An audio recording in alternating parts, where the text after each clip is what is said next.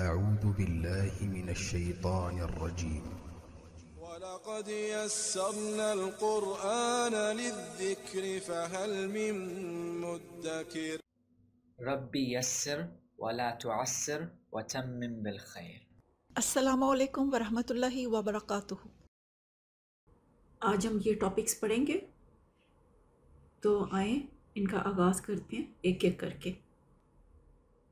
جیسا کہ آپ جانتے ہیں کہ ہم پڑھ چکے ہیں اس میں کہ جو لفظ ماں ہے، وہ اس استفام کے طور پر بھی آتا ہے اور یہ اس موصولہ کے طور پر بھی آتا ہے۔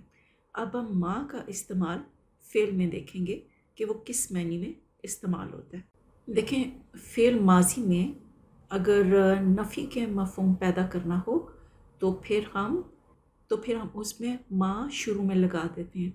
جیسے فرض کریں، میں نے کہا کہ زید خوش ہوا فارحہ زیدن اور اگر میں نے اس کو نفی میں کرنا ہے کہ زید خوش نہیں ہوا، تو فارحہ زیدن سے پہلے یہاں پر میں ماں لگا دوں گی۔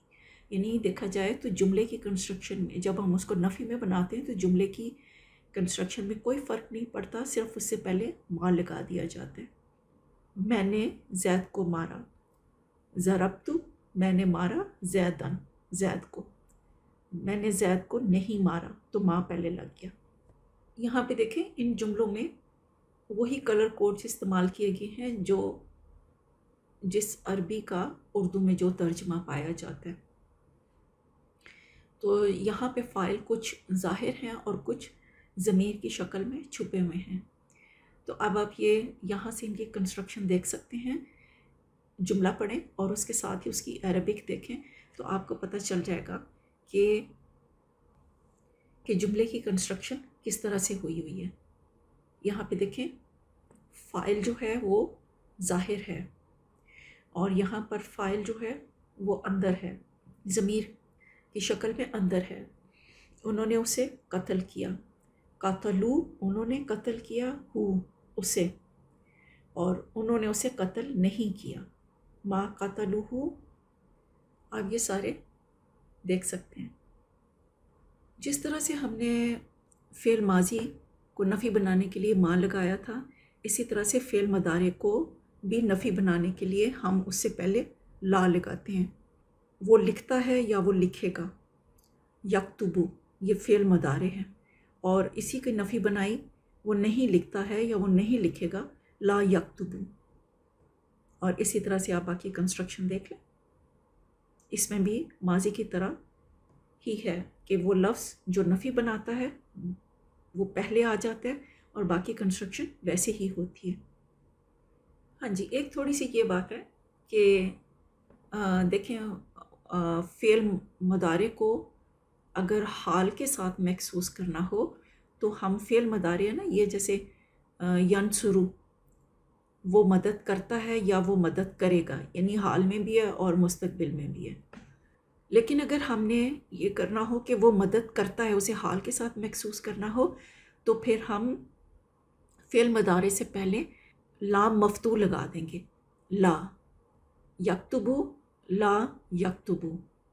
آگے یہ ہے کہ یہاں پہ تو ہم نے فعل مدارے کو سیپریٹ کر کے حال کے ساتھ محسوس کر دیا۔ اب اگر فعل مدارے کو مستقبل کے ساتھ محسوس کرنا ہو، تو ہم اس میں جیسے یہ تھا ینسرو وہ مدد کرتا ہے یا وہ مدد کرے گا۔ اس میں اگر ہم نے سا پہلے لگا دیا یا صوفہ لگا دیا، تو سا ینسرو وہ جلدی مدد کرے گا، وہ عنقریب مدد کرے گا۔ اسی طرح سے ہم صوفہ تعلمون تم عنقریب جان لو گے۔ اب ہم دیکھتے ہیں کہ فعل ماضی میں ہم تاکید کیسے پیدا کر سکتے ہیں۔ تاکید پیدا کرنے سے کیا ہوتا ہے کہ بات کو یقینی بنایا جا سکتا ہے۔ تو جو بھی کوئی فعل ماضی ہوتا ہے، اس سے پہلے ہم حرف قد لگا دیں تو اس میں تاکید پیدا ہو جاتی ہے۔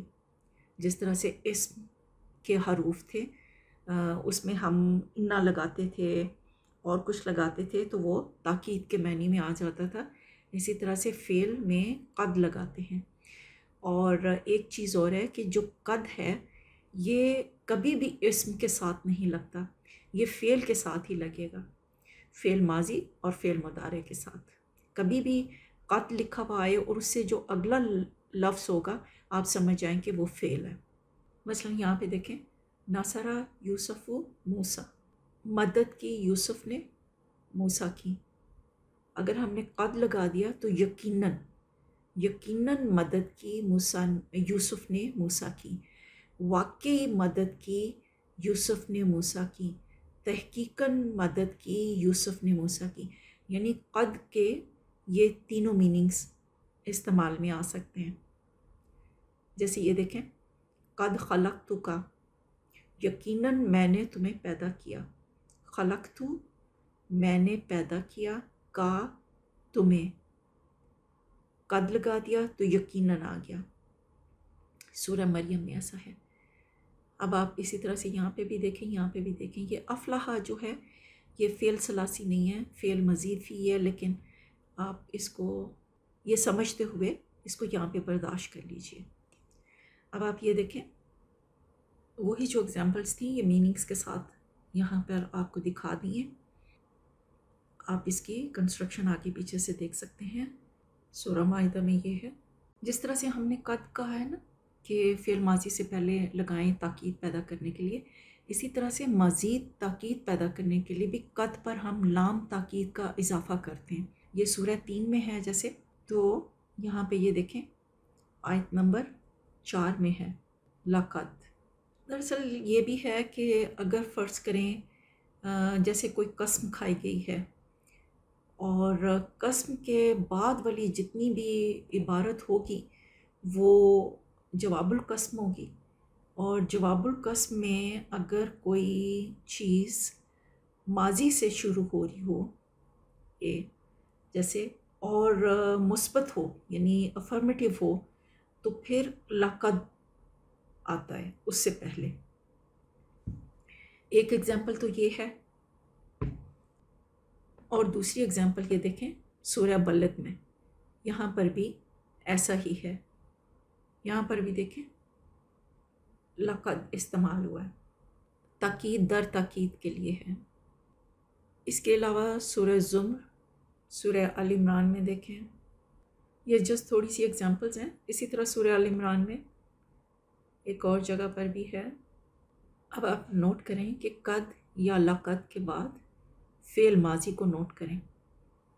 جس طرح سے فعل ماضی میں تاکید پیدا کرنے کے لیے ہم پہلے قد کا استعمال کرتے ہیں، اسی طرح سے قد کا استعمال فعل ماضی میں تقریب کے لیے بھی ہوتا ہے۔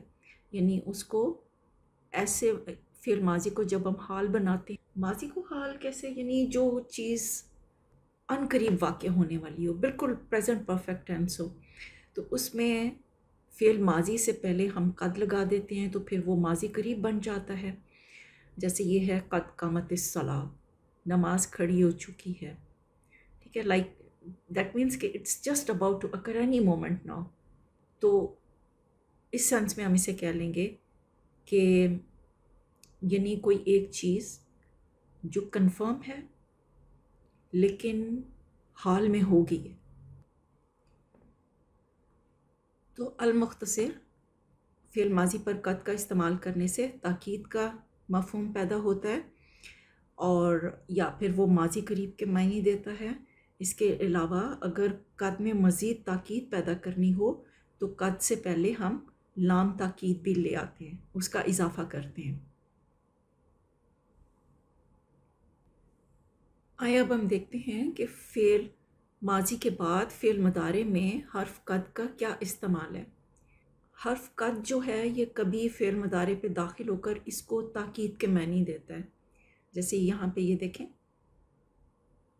قد تعلمون انی رسول اللہ علیکم حضرت موسیٰ نے اپنی قوم سے یہ کہا تھا کہ تم لوگ جانتے ہو، یقیناً تم خوب جانتے ہو کہ میں اللہ کا بھیجا ہوا رسول ہوں تمہاری طرف۔ اس سینس میں، یہ فعل مدارے میں خوب کے معنی میں بھی استعمال ہوتا ہے اور واقعی کے معنی میں بھی استعمال ہوتا ہے۔ یعنی اس میں بھی یہ تاکید کے معنی پیدا کر رہا ہے اس کے علاوہ حرف قد جو ہے، یہ فعل مدارے پر جب کبھی داخل ہو تو وہ تقلیل کے معنی بھی دیتا ہے۔ تقلیل کا مطلب یہ ہے کہ کسی فعل کے کبھی کبھار واقع ہونے کو وہ ظاہر کرتا ہے۔ یعنی سم ٹائمز تو جیسے یہاں پہ ہے ان القزوبہ قد یست کا کبھی کبھار بہت جھوٹا بھی سچ بول دیتا ہے۔ چلیں فرض کریں اس کو ذرا بریک ڈاؤن کرتے ہیں۔ یہاں پہ یہ دیکھیں، یہ ہے، اگر فرض کریں صرف یہی لفظ ہے یستکو وہ سچ کہتا ہے، ٹھیک؟ اب ہم نے یستکو کے ساتھ لگا دیا۔